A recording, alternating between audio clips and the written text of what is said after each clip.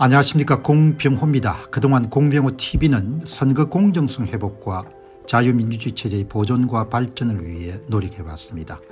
이런 노력들이 지속될 수 있도록 공병호 tv의 전기 후원 프로그램이자 멤버십 프로그램을 소개해드립니다. 뜻 있는 분들의 관심과 동참을 부탁드립니다. 선거 공정성 회복을 위한 노력을 지지하시고 훌륭한 나라 만들기에 동참하시는 시청자분들이시라면 구독 버튼 바로 옆에 있는 가입 버튼을 통해서 정기 후원 프로그램에 가입할 수 있습니다. 가입 버튼을 누르시면 공병호TV의 후원자가 되시게 됩니다. 여러분의 후원이 선거 공정성 회복을 위한 노력에 힘을 더할 수 있을 뿐만 아니라 자유민주주의 체제의 수호를 그리고 발전을 통해 여러분과 후손들의 삶에 빛과 소금이 될 것입니다. 특히 그동안 공병호TV는 선거 공정성 회복을 위한 노력 과정에서 채널 성장에 제약이 가해지는 불이익을 감수해왔고 지금도 그런 불이익이 계속되고 있습니다. 그럼에도 불구하고 너무나 중대한 문제이기 때문에 공병호TV의 노력은 계속될 것입니다. 여러분의 깊은 관심을 부탁드립니다. 감사합니다. 이 민경욱 의원이 이제 결국은 제거당한 거죠. 제거당한 것이고 그 제거를 한 주체는 국힘당의 공천관리위원회 산 거고 그러면 공천관리위원회 했기 때문에 결국은 좀 더 명확하게 주어를 정리하게 되면 한동훈 비상대책위원장이 민경욱을 제거한 거죠. 예, 공천관리위원회 이름으로. 이게 이제 개인 차원의 문제가 아니죠.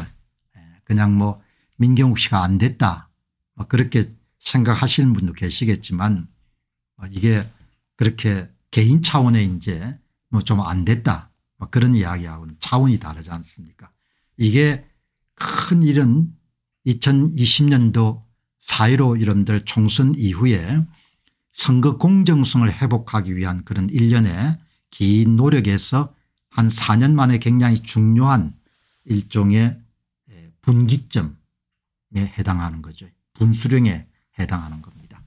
그렇기 때문에 제가 다루는 거지 민경욱 전 의원의 그런 개인적인 문제 때문에 다루는 것은 아닌 거죠. 권순날 여러분들 동아일보 부국장을 하셨던 권순날 tv에서 여론조사 선두권 민경욱 한 35%였고 나머지 후보들은 대개 이제 한 10%대를 유지했던 것 같습니다. 경선 원천 배제 파문 확산 예.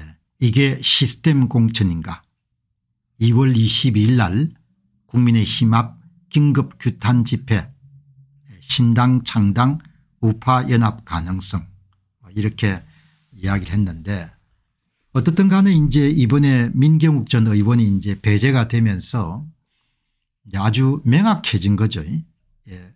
국민의 힘당이 이 선거 공정성 회복을 하기 위해서 그동안 이제 오랫동안 침묵을 지켜왔는데 이 국민의힘당이 어떻게 이 문제를 앞으로 다룰 것인지 이런 부분에 대해서 명확한 그런 입장을 보이는 것이고 이제 그것이 좀 더하게 되면은 검찰 출신인 그런 한동훈 비상대책위원장이나 윤 대통령이나 이런 분들이 이제 이 선거 문제를 앞으로 어떻게 다루어 나갈 것인가라는 부분에 대해서 명확한 그런 일종의 지침 방향을 정리정돈하는 사건이 바로 이번에 민경욱 전 의원을 경선에서 배제한 것이다.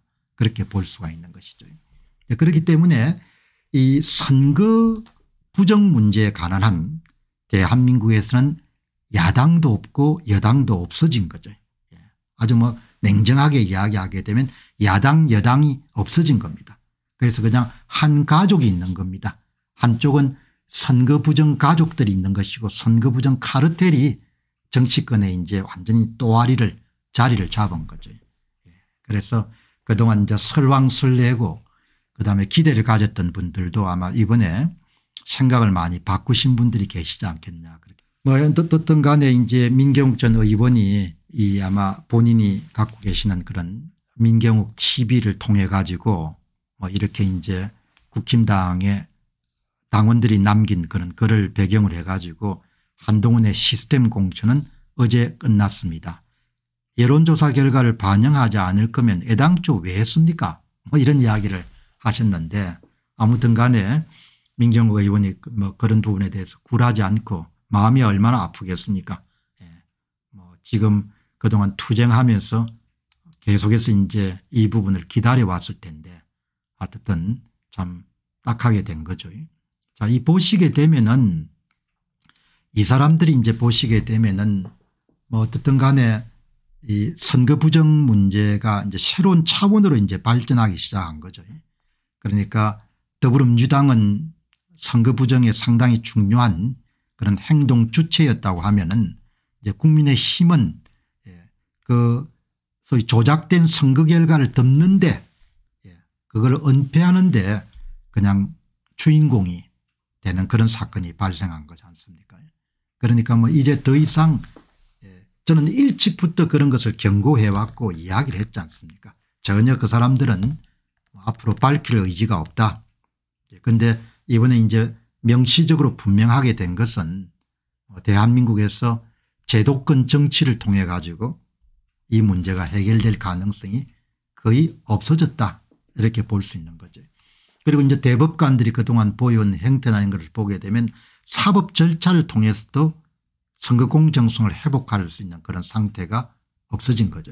그럼 이제 참정권이 박탈당한 상태가 2016년부터 지금까지 계속됐는데 그러면은 이제 뭐 10년을 넘어서 이제 그냥 그때는 몰랐고 지금 이제 노골적으로 선거 부정이 알려진 상태에서도 선거 부정을 고칠 수 있는 그런 가능성이 제도권 언론을 통해서도 없어진 것이고 대법관을 통해서 사법적 절차를 통해서도 없어진 거죠. 그걸 제가 명확히 하는 겁니다. 그래서 민경욱 후보의 경선 배제라는 것이 엄청나게 중요한 사건인 겁니다. 민경욱 전 의원의 경선 배제 전과 후가 명확하게 가려지는 겁니다. 전에는 기대를 가졌던 분들도 계시고 저는 뭐 이미 기대를 다 포기한 거지만 제도권을 통해 가지고 이제 이 문제가 해결될 가능성이 거의 사라진 겁니다. 그러니까 국민들이 그냥 나서 가지고 해결해 달라 그렇지 않으면 이 문제가 해결될 가능성이 없는 겁니다. 특히 이제 이 문제에 대해서 이 칼윤이란 분은 계속해서 이렇게 선거 문제에 대해서 굉장히 예리한 글을 많이 쏘신 분인데 이렇게 기고를 하셨네요. 예. 국투본의 민경욱 대표는 연수월 여론조사에서 압도적 2위를 했습니다. 예, 국민의힘의 후보 공천 원칙 가운데 하나가 어느 예비 후보가 여론조사에서 압도적 2위를 하면 경선 과정 없이 단수 공천을 한다고 그렇게 정했습니다. 총선에서 꼭 이기기 위해서 그런 원칙을 정한 겁니다. 이제 그것을 예. 그런데 민경욱 예비 후보에 대해서는 경선 기회조차 주지 않은 채 기회를 박탈해 버린 겁니다. 그리고 아무 매갈이 없는 후보들 셋이 경선기 한다고 합니다. 무슨 기준인 거죠 이렇게 이야기를 한 겁니다. 예. 그러니까 당권을 장악한 자들이 그냥 예 강제력을 발휘한 거죠. 폭력을. 이게 정치라는 걸 보여주는 겁니다. 뭐 그 이상 그 이하도 없는 겁니다. 예. 이게 여러분들 민경욱 후보를 그냥 경선에 배제한 것이 한동훈의 생각이고 윤석열의 생각인 겁니다. 그 이상 이하도 없는 겁니다. 그게 국민의 힘의 생각인 것이고 영원히 그분들은 선거 부정 문제를 덮는 데 진력할 거란 이야기죠. 그래서 그토록, 그토록 오랫동안 침묵하는 겁니다. 뭐 지금까지 지금도 기대감을 갖고 계시는 분들은 그뭐 기대감을 가지시는 것은 자유지만 제 이야기는 예, 기대감을 가지실 그런 가능성 가지시더라도 그 기대가 충족될 가능성은 거의 없다 그렇게 보시면 되겠죠. 예. 그리고 이제 이 칼류님이 또 계속해서 말씀하는 것은 예, 부정선거의 뿌리를 그대로 방치 방조하면서 가장 근원적인 가치를 지키려 희생하는 사람들을 혼례하고 박해하는 사람들에게 무슨 대한민국의 미래를 기대하겠는가 그저 하나님의 가호가 있기를 바랄 뿐입니다. 이렇게 이야기를 하지 않습니까 여러분 우리가 지금 마치 공기를 여러분들 숨을 쉬고 물을 꼭 마셔야 살아갈 수 있는 것처럼 한반도의 여러분들 북쪽은 폭압적인 정권이 등장해 가지고 그냥 동포들이 그냥 짐승처럼 그렇게 대우를 받고 있지 않습니까 한반도의 남쪽은 정말 하나님의 도우심이 함께해서 미군정 체제 하에서 걸출한 인물인 우남 이승만 같은 인물들이 있어 가지고 참정권이라는 것은 큰 복을 받은 거지 않습니까 예. 참정권 자체가 자유민주주의 체제지 않습니까 자유민주주의 체제 자체가 선거 공정성입니다. 자유민주주의 체제라는 것은 다수결의 원칙에 따라 지도자를 교체할 수 있는 체제가 자유민주주의 가장 중심 요소 가운데 어뜸인 겁니다. 대의민주주의란 것은 다수결의 원칙에 따라서 평화로운 방법으로 권력자를 교체할 수 있는 것이 그게 자유민주주의지 않습니까 유감스럽게도 2016년부터 자유민주주의 체제가 무너진 겁니다. 우리는 몰랐고 우리는 비로소 2020년 4월 15일 날 그걸 알게 된 겁니다. 그것이 모르는 상태에서 이름 덮는 거하고 아는 상태에 덮는 거는 차원이 다른 거죠. 예. 그러나 여러분들에게 거듭 말씀드리지만 민경욱 후보에 대한 경선 배제는 다르게 이야기하면 국힘당과 한동훈 비상대책위원장과 윤석열 대통령과 예, 그다음에 대한민국의 지배 엘리트들이 선거 공정성 문제를 앞으로 영원히 덮을 거란 것을 이야기하는 거거든요. 영원히 덮는 겁니다. 그런데 그것이 착하게 여러분 누구 이익하고 배치가 되는 거 하니까 국민 일반의 이익과 완전히 배치가 되는 겁니다. 국민들이 갖고 있는 참정권을 빼앗아 가지고 자기들끼리 다 논아 가지는 겁니다. 국민권 국민들이 이름들 재산인 참정권을 훔쳐다가 자기들끼리 나누어 가지는 겁니다. 그 적과 아군이 확실하게 뭡니까 전선이 행성이 된 겁니다. 국민들 것을 그냥 훔쳐가 버린 겁니다.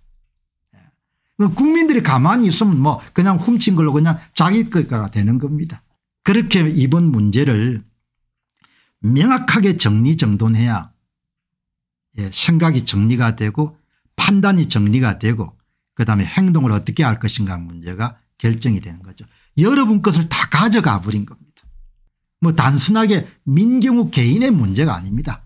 그냥 우리는 너희들 것을 가져가고 영원히 너희들은 참정권이 없다 이렇게 여러분들 그냥 발표해 버린 겁니다. 그것이 한동훈 비상대책위원장의 생각인 겁니다. 그게 국민의힘의 생각인 것이고 그게 윤 대통령의 생각인 겁니다. 그래서 그토록 오랫동안 뭐죠 즐기도록 입을 다문 겁니다. 이렇게 여러분들 정리를 해버리시게 되면 되는 거죠. 자유민주주의 체제가 없는 겁니다. 그냥 폼만 자유민주주의 체제 국호가 대한민국의 공화국인 거지 여러분들 이미 공화국이 다 허물어져 버린 겁니다. 제 말에 여러분들 틀린 게 있습니까 없습니다. 자유민주주의라 하면 평화로운 방법에 따라서 다수결의 원칙에 따라 가지고 지도자를 교체하는 체제가 자유민주주의 체제인 겁니다. 그것을 다 망가뜨린 겁니다. 그리고 국민들이 참정권을 가져다가 자기들끼리 뭐죠 예 돌아가며 해먹는 겁니다. 예. 국민들이 다르게 하면 좀 심하게 이야기하면 그냥 국민들이 그냥 노예가 된 겁니다. 준노예 상태가. 여러분 참정권이 없는 겁니다. 참정권이 그냥 박탈당한 겁니다. 예. 그렇게 여러분들 문제를 명확하게 처리 해설해야 예, 민경욱 경선 배제 사건의 본질을 정확하게 여러분들 파악할 수 있다. 이렇게 보시면 좋겠습니다. 그 이제 어제 민경욱 전 의원의 경선 배제는 그냥 참정권 박탈을 지금 공식화한 겁니다. 이제 참정권 없어 이렇게 예, 그렇게 여러분들 해설을 하시면 되겠습니다. 이제 더 이상 대한민국 국민들은 참여권 없어 너희들은 우리가 정하는 대통령 모시고 살아야 되고 국회의원 모시고 살아야 되고 시도지사 모시고 살 너희들은 세금만 내면 돼 뭐 이런 거하고 똑같은 거죠. 대한민국 공직선거의 문제점을 파헤친 첫 번째 책을 펴냈습니다. 제목은 도둑놈들 1권 선거 어떻게 훔쳤나 2017년 대통령 선거로부터 2022년 대선과 지방선거까지 전산 조작을 이용해서 후보별 득표수를 어떻게 조작했는가를 낱낱이 분석한 책입니다. 선거를 바로 세우고 나라를 바로 세우는 일에 여러분께서 힘을 더해 주시기 바랍니다.